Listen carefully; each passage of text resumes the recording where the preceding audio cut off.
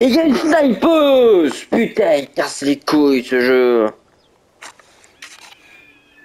Possible.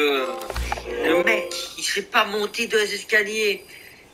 Il est en zone de guerre, mon gars.